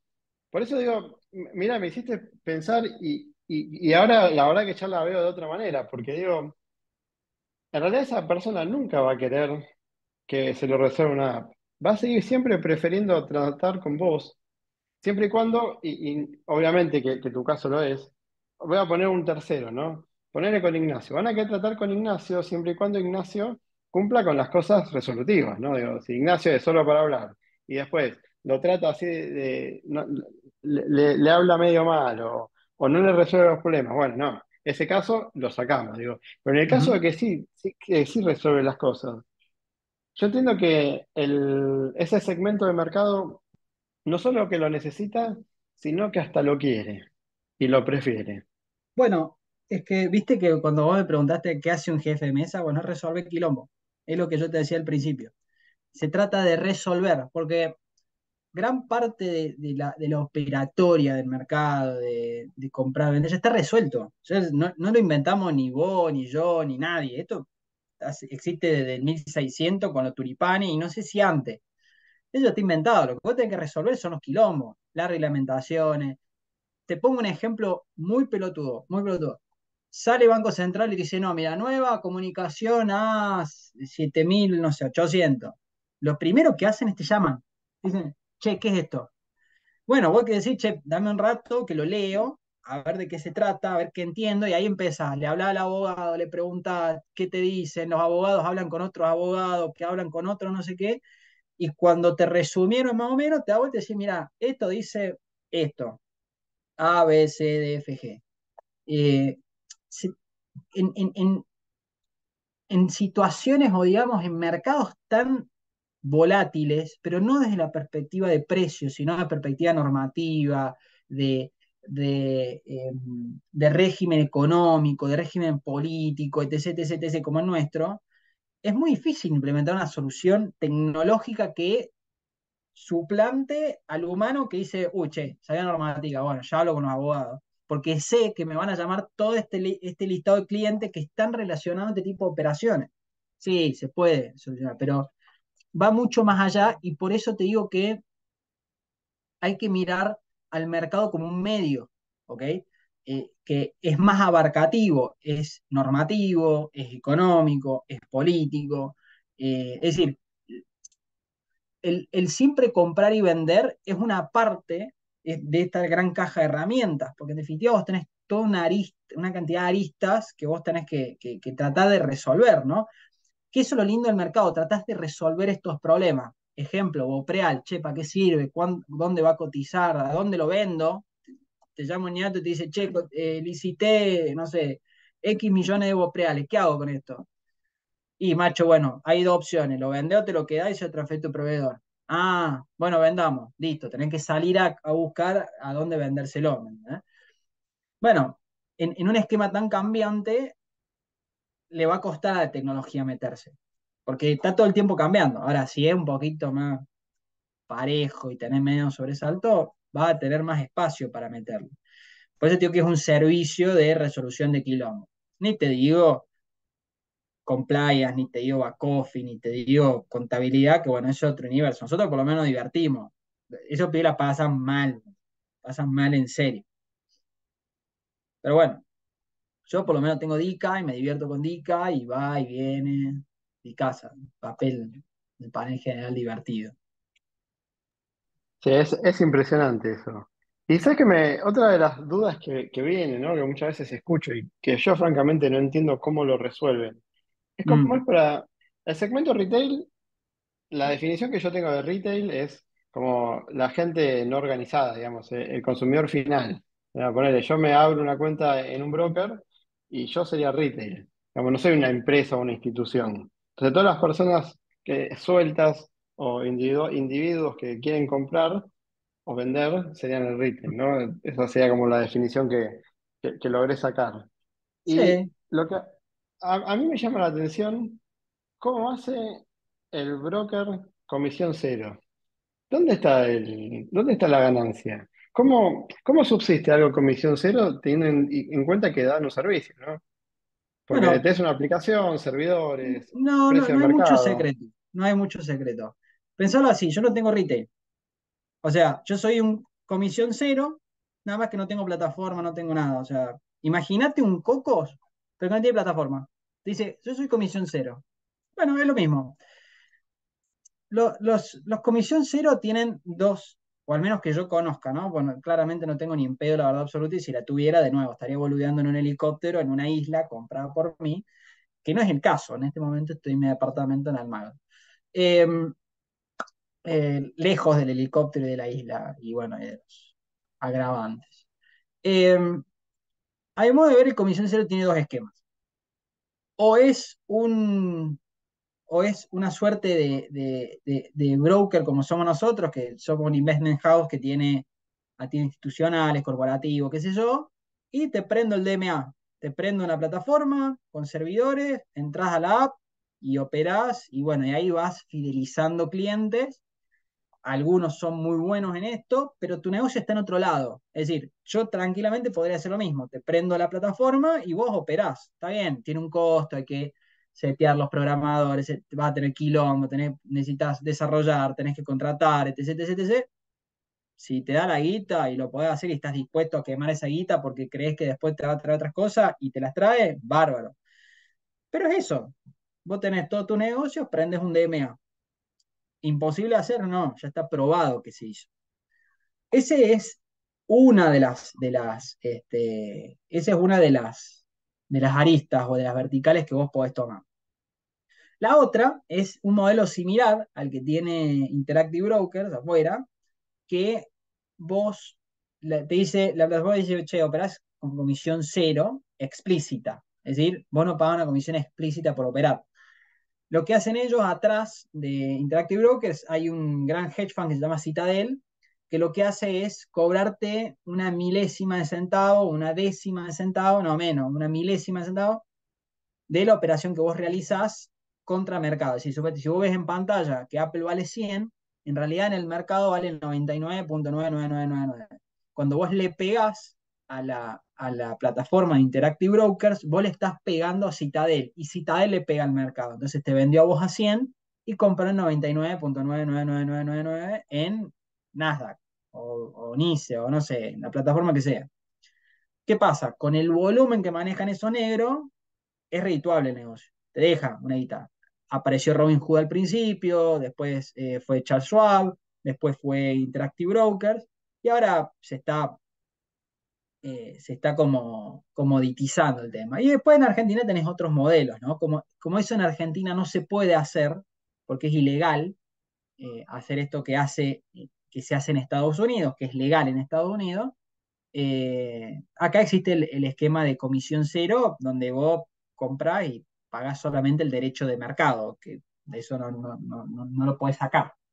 Este, y así funciona, pero atrás tenés otros negocios que son redituables. Yo no tengo retail. Vos decís, yo, Juan, ¿cómo sobreviví? Bueno, tengo otro negocio. O sea que es un entry level, digamos, el comisión cero. Básicamente es una forma de, adquirir clientes, es el costo de adquisición de clientes, digamos. La verdad no lo sé, no lo sé porque no, nunca desarrollé la, nunca desarrollé el, comisión cero y no sé a, qué, cuál es el fin último. Puede ser fidelizar clientes para después venderle a un banco y ya tener todo el KYC armado y el historial de eh, y el historial crediticio, puede ser para después transformarlo en un esquema con comisiones, no lo sé, la verdad que no, no, lo tengo claro, y, pero de todas maneras celebro que haya gente con los huevos suficientes para hacer una cosa así, a mí no se me hubiese ocurrido ni en pedo, este, hay que poner mucha guita, tenés que fumar todos los quilombos, tenés que tener equipo gigante. Bueno, tenés que tener mucho huevo. La verdad que no, a mí nunca se me hubiese ocurrido y no sé si lo hubiese podido hacer, de hecho. Este, pero ese, ese negocio que a veces muchos se cuestionan, que dicen, che, ¿y qué viven estos tipos? No, bueno, hay toda una industria, hay toda otra cantidad de negocio atrás que no tienen nada que ver con eso y que generan plata, si les va bien, eh, y bueno, funcionan. Este, caminan, ¿me entendés? O sea, porque claramente, si no la empresa se funde. ¿de qué viven? No, bueno, pero el comisión cero es un, es un gran globo, un cartel importante, que está bueno tenerlo, pero la verdad la milanesa es que el negocio está en otro lado. Impresionante. Te consulto algunas cosas más. Un poco lo que, vos, lo que vos comentabas de Citadel, hacen un poco de market making, ¿no? Ellos. Bueno, es una forma de, market making, digamos.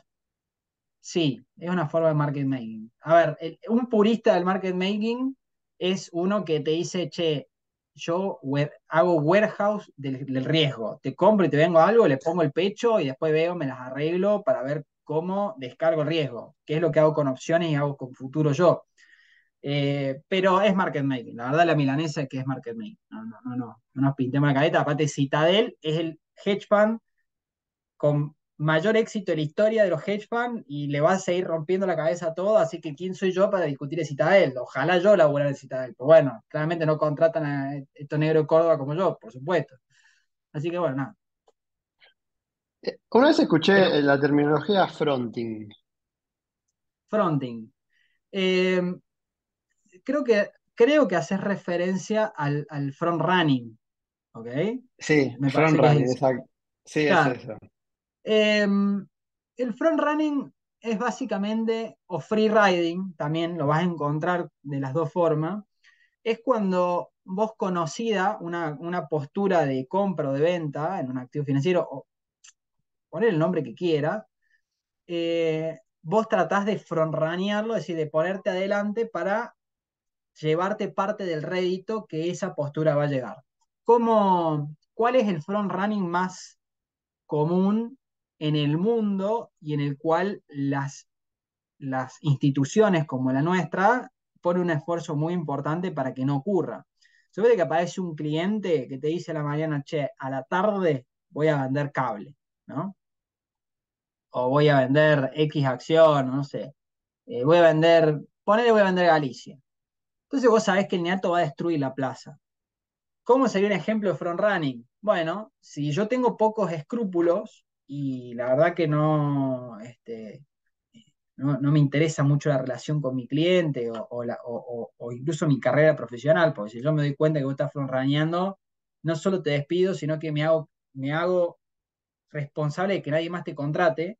Este, ¿Qué haces? Te vendes Galicia, suponete, ¿no?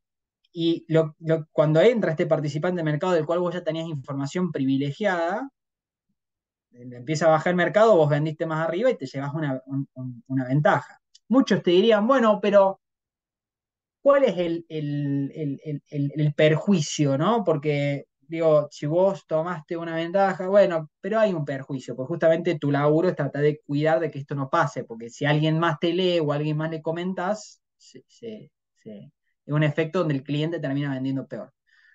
Otra forma de front running es cuando vos identificás algún participante del mercado, como puede ocurrir en, cuando hay intervenciones oficiales, de, por ejemplo, de, un banco central o de algún participante pesado, cuando vos lo percibís en la plaza, sobre todo cuando ese tipo de intervenciones están llevadas adelante por eh, profesionales de poca experiencia o incluso gente que no tiene nada que ver, que son muy evidentes, porque hay un montón de mecanismos para, para evitar de que justamente te muestres, lo que hace es decir, uche, apareció tal participante a comprar o vender, me voy a adelantar.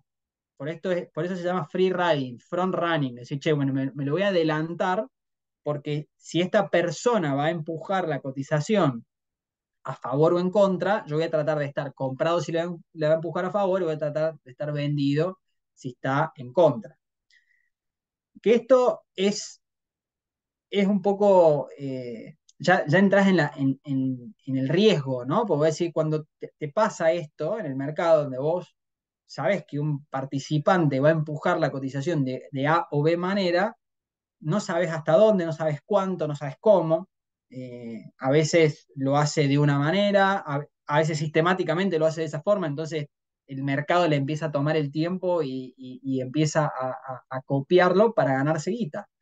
Eh, pero principalmente te diría que el, front running o el, free riding viene de eh, movimientos artificiales en los precios de los cuales uno tiene conocimiento previo a que ocurran. La gran mayoría de nosotros no sabe qué va a pasar con los precios. Yo no sé qué va a pasar con los precios. Si vos tenés información de cómo se va a mover algo, porque hay un participante que tiene una necesidad particular y vos tomás una posición para beneficiarte de eso, se llama free riding o front running. En muchos países es ilegal, en muchas instituciones está altamente penado, ¿no? Este, porque va en contra de las, em, de las necesidades o de la demanda del cliente, ¿no? Muchísimas gracias. Y gracias, gracias por, por estas tres horas. Bueno, a vos Nacho, éxitos y bueno, nos estaremos viendo en futuras entrevistas si, si todo anda bien, ¿no? Vamos, todavía, totalmente. Nos vemos, Juancho. Gracias. chao, chao.